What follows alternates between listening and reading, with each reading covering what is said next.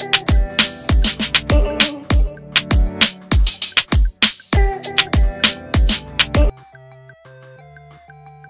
่แพทริเซียโพสต์ถึงโน้ตลูกเขยแห่สองน้องภรรยาหล่อไม่แพ้พระเอกพ่อตาแม่ยายต้อนรับเผยถึงลูกเขย แม่แพทริเซียโพสต์ถึงโน้ตลูกเขยแห่สองน้องภรรยาโตเป็นหนุ่มหล่อไม่แพ้พระเอก วิวาชื่นมื่นสะพ้ายหมื่นล้านนางเอกสาวแพทริเซียกูดกับโน้ตวิเศษรังสีสิงห์พิพัฒน์สะพ้ายเล็กแต่งเข้าร่วมครอบครัวใหญ่ดองกับนางเอกรุ่นพี่ชมพู่อารยาสะพ้ายใหญ่ต้อนรับน้องสะพ้ายอย่างอบอุ่นไปแล้วนั้น โดยเมื่อเช้าวันที่ 20 ธันวาคม 65 คงคู่เข้าพิธีมั่นเป็นการภายใน โดยมีพี่ชายน็อตวิสรุตทำหน้าที่แทนคุณพ่อกล่าวคำสู่ขอดาราสาว แพทริเซียกับคุณแม่ปิยนุชและคุณพ่อเดวิดกูด โดยมีคุณแม่อุไรวัน รังสีสิงห์พิพัฒน์ร่วมกล่าวอวยพร บรรยากาศในงานเป็นไปอย่างเรียบง่าย มีเพียงญาติสนิทของทั้งสองฝ่ายเป็นสักขีพยาน รวมถึงพี่สะพ้ายอย่างชมพู่อารยาที่พาลูกทั้งสามมาร่วมงานด้วย ส่วนงานฉลองสมรสวันที่ 22 ธันวาคม 65 ก็มีคนบันเทิงมาร่วมยินดีจำนวนมากนั้น ด้านคุณพ่อเดวิดกูดและคุณแม่ปิยนุชกูดของสาวแพทริเซียก็ต้อนรับลูกเขยอย่างอบอุ่นเช่นกัน โดยคุณแม่ของนางเอกสาวได้ลงภาพงานวิวาหวานพร้อมแคปชั่นสุดยินดีและข้อความถึงลูกเขยด้วยว่า Congratulations to Padnot and a warm welcome Note to our good family ด้านลูกเขยก็เข้ามาคอมเมนต์ส่งอีโมจิหัวใจและยกมือไหว้ด้วยงานนี้น้องชายคนเดียวของนางเอกสาวอย่างแมทธิวกูดที่มีอายุห่างพี่สาว 5 ปีตอนนี้โตเป็นหนุ่มมากๆ แล้วร่วมงานวิวาพี่สาวออร่าหล่อไม่แพ้พระเอกจนแฟนๆแห่คอมเมนต์ชมแถมแชร์ภาพน้องแมทธิวกันเลย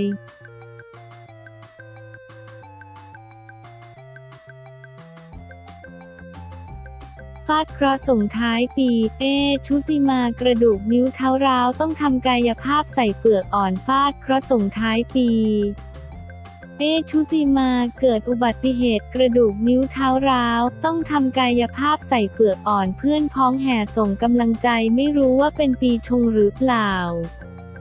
สำหรับนักแสดงสาวรุ่นใหญ่เอชุติมานยนาหลังเพิ่งออกมาประกาศข่าวเลิกรากับแฟนหนุ่มรุ่นน้องอายุห่างกัน 31 ปีที่คบกันมานานถึง 6 ปีทำเอาหัวใจยังเจ็บไม่หายล่าสุดมีเรื่องให้เจ็บกายอีกแล้ว เมื่อสาวเอ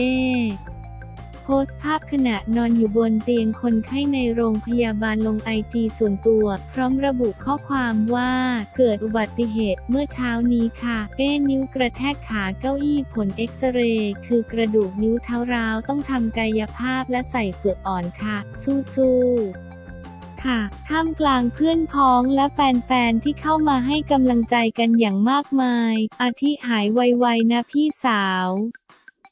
จะได้พักผ่อนร่างกายบ้างนะจ๊ะเพราะตัวเองทำงานเยอะมาตลอดทั้งปีแล้วนะจ๊ะ เป็นกำลังใจให้นะคะฟาดเคราะห์ค่ะแม่เอกคนสวยปีหน้าและปีต่อต่อจะสุดปังค่ะ ดูแลตัวเองด้วยนะครับเป็นต้น ขอบคุณภาพไอจียูติมะ .a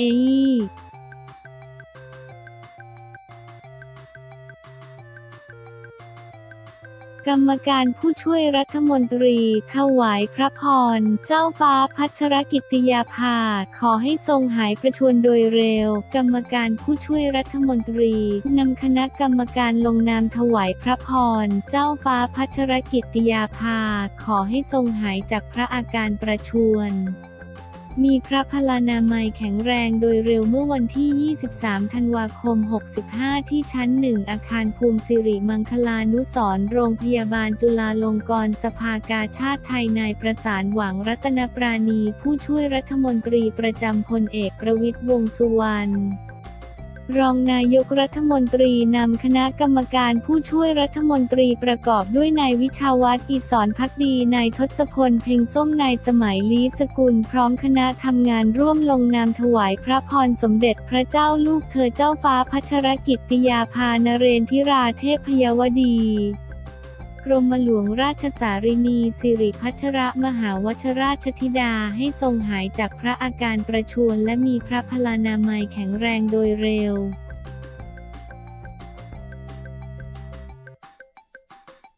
ด่วน ประยุทธ์ประกาศเป็นแคนดิเดต นายกรัฐมนตรีพักรวมไทยสร้างชาติด่วนประยุทธ์ประกาศเป็นแคนดิเดต นายกรัฐมนตรีของพักรวมไทยสร้างชาติแล้ว เผยพูดคุยกับประวิทย์เป็นที่เรียบร้อยแล้ว ยันครอบครัวเข้าใจ เมื่อเวลา 9 นาฬิกา 30 นาที วันที่ 23 ธันวาคม 2565 ที่ตึกสันติไมตรี หลังในทำเนียบรัฐบาลพลเอกประยุทธ์จันโอชานายกรัฐมนตรีเป็นประธานในพิธีมอบโล่เชิดชูเกียรติสิบสุดยอดชุมชนต้นแบบ เที่ยวชุมชนยนลวิถีประจำปี 2565 ให้สัมภาษณ์ยาว 24 นาที โดยกล่าวว่าวันนี้ตัดสินใจเข้าเป็นสมาชิกพักรวมไทยสร้างชาติแล้ว รอทอสอชอโดยเป็นแคนดิเดตนายกรัฐมนตรีเพียงคนเดียวโดยได้มีการพูดคุยกับพลเอกประวิตยวงสุวรรณรองนายกรัฐมนตรี ในฐานะหัวหน้าพักพลังประชารัฐพอปชรอแล้วด่วน ประยุทธ์ประกาศเป็นแคนดิเดตนายกรัฐมนตรีพักรวมไทยสร้างชาติด่วนประยุทธ์ประกาศเป็นแคนดิเดตนายกรัฐมนตรีพักรวมไทยสร้างชาติพลเอกประยุทธ์กล่าวต่อว่าซึ่งท่านและตนก็มีความเข้าใจซึ่งกันและกัน ไม่ได้โกรธเคืองอะไร แต่เพื่อให้การเลือกตั้งมีความชัดเจนทางการเมืองขึ้น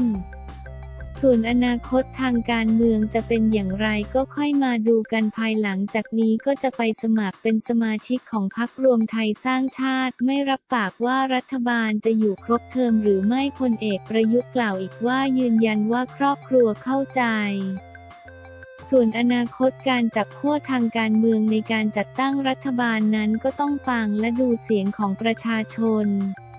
ทั้งนี้เหตุผลที่ตัดสินใจประกาศในวันนี้ เพราะพักพลังประชารัฐได้ประกาศเสนอชื่อพลเอกประวิทย์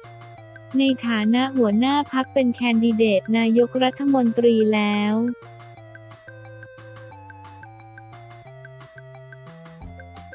PPTV ปรับผังรายการข่าวรับปี 2566 ลุยศึกข่าวพายมไทม์ PPTV ปรับผังรายการข่าวรับปี 2566 ลุยศึกข่าวพายมไทม์เสริมความแกร่งให้กับรายการอัดแน่นด้วยเนื้อหาสาระครบถ้วนทุกประเด็น สถานีโทรทัศน์ PPTV HD ช่อง 36 ปรับผังข่าวรับปีใหม่ 2566 ลุยศึกข่าว prime time เสริมความแกร่งให้กับรายการเข้มข่าวค่ำส่งช่วงลึกไม่ลับ โดยอาร์ตเอกรัฐ ตะเคียนนุชเพิ่มเนื้อหาเข้มข้นทุกวันจันทร์ศุกร์ตั้งแต่เวลา 18.00 ถึง 21.00 น พร้อมเพิ่มวันออกอากาศรอบโลก Daily ดำเนินรายการโดยกรุณาบัวคำศรีลงจอทุกวันเสาร์อาทิตย์เวลา 17.30 ถึง 18.00 น จากนั้นมาเข้มกันต่อกับรายการเข้มข่าวใหญ่พบสองสาวผู้ประกาศมากความสามารถน้องธัญรัตน์ถาม้อยและปราดปรารถนาพรมพิทักษ์เวลา 22.50 ถึง 23.15 น เริ่มวันที่ 3 มกราคมนี้เป็นต้นไปเสถียรวิริยพันธ์พงษาผู้ช่วยกรรมการผู้อำนวยการใหญ่ฝ่ายข่าว PPTV ช่อง 36 เปิดเผยว่า ในปี 2566 PPTV มีการปรับโฉมรายการข่าวให้เข้มข้นขึ้น ที่ผ่านมา PPTV ได้รับเสียงตอบรับและคำชื่นชมในการผลิตข่าวที่มีคุณภาพ โดยบุคลากรคุณภาพโดยปี 2566 ทุกอย่างจะมีการพัฒนาให้ดียิ่งขึ้นอย่างช่วงลึกไม่ลับ โดยคุณอาร์ตเอกรัตน์นั้นที่มีจุดแข็งคือความเป็นนักข่าวไฟแรง มุ่งมั่นเจาะข่าวแบบกัดไม่ปล่อย และสามารถนำเสนอได้อย่างมีเสน่ห์ ผมเชื่อว่าอาจจะทำให้ข่าวหน้าจอช่วงพายมไทม์มีเรื่องราวให้ผู้ชมติดตามกับประเด็นร้อนที่เข้มข้นอย่างแน่นอน หยุด ส่วนรายการรอบโลกเดลี่นั้นก็จะออกอากาศครบทั้ง 7 วันเท่ากับว่าแฟนข่าวจะไม่พลาดสถานการณ์สำคัญของโลกที่จะถูกรายงานในแบบฉบับของ คุณกรุณาบัวคำศรีได้ทุกวัน และช่วงเช้าก็จะเติมความเข้มข้นด้วยข่าวต่างประเทศ อัปเดตข่าวจากทั่วทุกมุมโลกในรายการพันโลกเอ็กซ์เพรส โดยสองผู้ประกาศสาวโบกี้พัทรี พัทรโสพัสกุล และนุ่มนิ่งตรีชดาโชคคนาเสริมสกุลทุกวันจันทร์ศุกร์เวลา 8 นาฬิกา 30 นาทีถึง 9 นาฬิกา และเสาร์อาทิตย์เวลา 10.30 ถึง 11.15 น เริ่มวันที่ 1 มกราคมนี้เป็นต้นไปจุดเรียกว่าการปรับผังข่าวรับปีใหม่ครั้งนี้ PPTV จะให้ความสำคัญกับข่าวคุณภาพในทุกช่วงเวลา เป็นการตอกย้ำความเป็นสถานีข่าวคุณภาพ พลาดไม่ได้ กับทุกรายการข่าวทุกช่วงเวลาพร้อมนำเสนอข่าวคุณภาพที่อัดแน่นไปด้วยเนื้อหาและสาระครบถ้วนทุกประเด็นมากขึ้นยิ่งกว่าเดิม แฟนๆ สามารถติดตามชมได้ตั้งแต่วันที่ 1 มกราคมนี้เป็นต้นไปทาง PPTV HD ช่อง 36และทางแพลตฟอร์มออนไลน์ www.pptvhd36.com ช่อง YouTube และแอปพลิเคชัน PPTV HD 36